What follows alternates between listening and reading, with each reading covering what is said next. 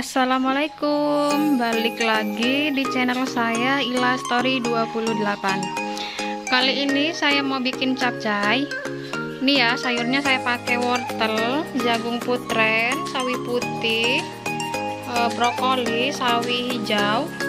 Ini saya pakai rempelo ati ayam ya Sama sosis juga. Ini mau saya potong-potong dulu. Nah, ini udah saya potong-potong. Udah saya cuci bersih juga. Langsung aja ya. Kita bikin bumbunya. Ini udah saya siapin bumbunya.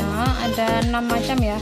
Bawang merah, bawang putih, sedikit biji pala, bawang putih, bawang bombay, dan merica. Saya pakai merica bubuk ya ini saya ulek dulu bumbunya bawang merah bawang putih dan sedikit pala.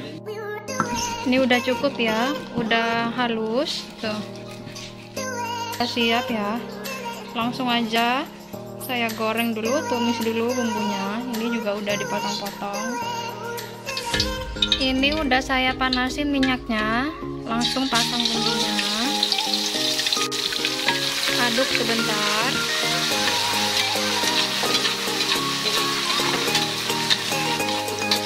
udah mulai wangi. Lalu masukin aja bawang putih dan bawang bombay.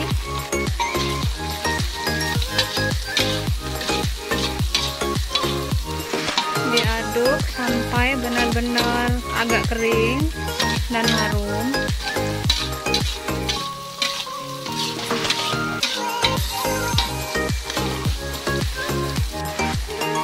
Saya kasih sedikit lada ya bu ya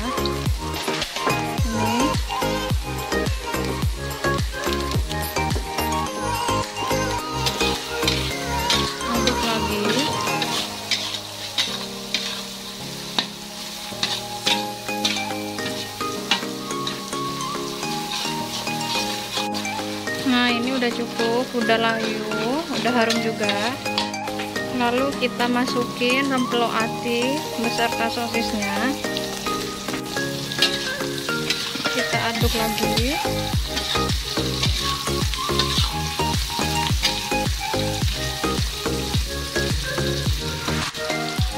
Masukkan wortel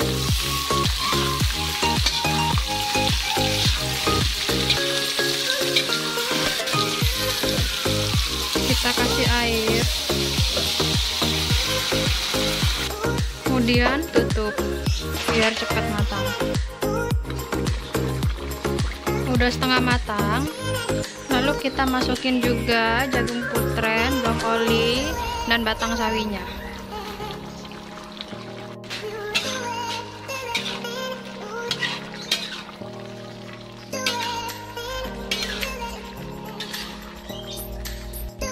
kemudian tutup kembali. Nah ini udah 5 menit masukin juga sawi putih dan sawi hijaunya.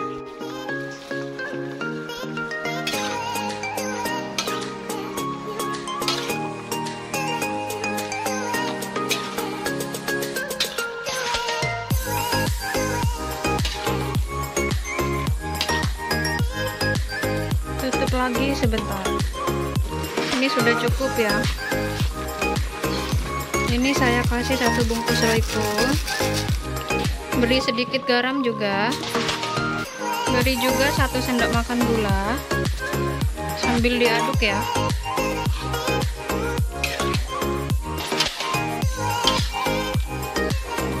Ini saya kasih juga saus tomat. Saya pakai ini ya Del Monte.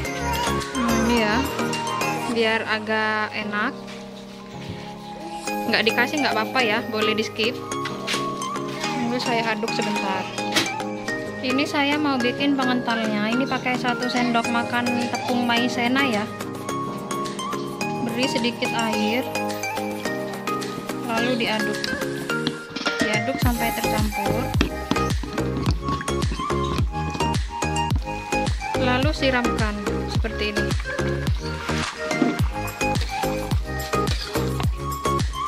sambil diaduk ya. Ini sudah matang langsung aja matikan kompor. Nah ini udah jadi ya. Udah saya sajikan seperti ini. Tinggal dimakan bareng nasi. Ini saya pakai kuah ya teman-teman. Nggak pakai kuah juga boleh